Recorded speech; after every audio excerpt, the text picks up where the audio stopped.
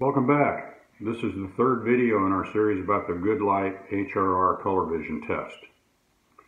Have the score sheet at the end of the book handy.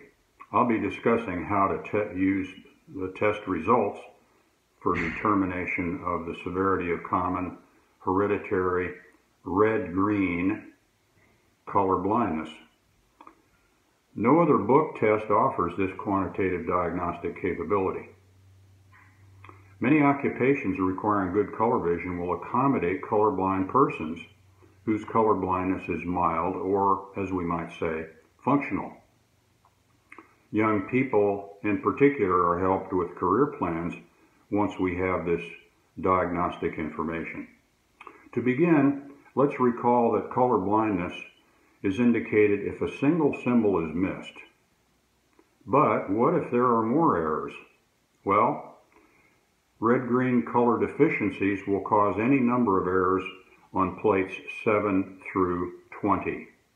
These plates are grouped under four headings on the score sheet, screening, mild, medium, and strong. If you have normal color vision, notice that the symbols become easier to see as one progresses from plate 7 to plate 20. Compare plate 8 to 17, for example. Failure of a patient to see easier symbols indicates a greater severity than failure to see more difficult ones.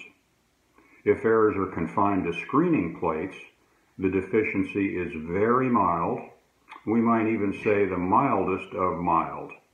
Such persons usually have very little, if any, difficulty with color.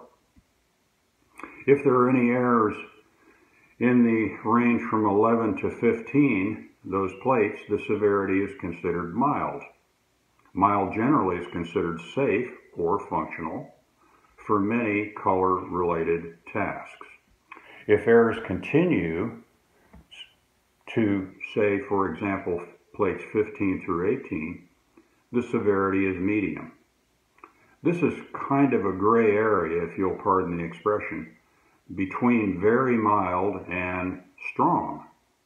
Some color task will present problems, and some sort of additional task-specific, practical, employer-administered test may be needed. Color sorting, for example, ability to sort colors.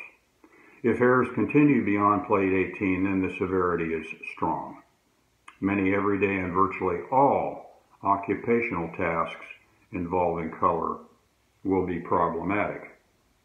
Color vision is not safe, particularly if there are significant consequences for error, such as for a law enforcement officer, a firefighter, or persons in various transport industries.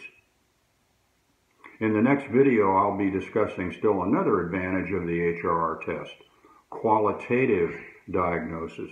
That is, distinguishing between different types of color blindness, both hereditary and acquired. Thank you for watching and be well.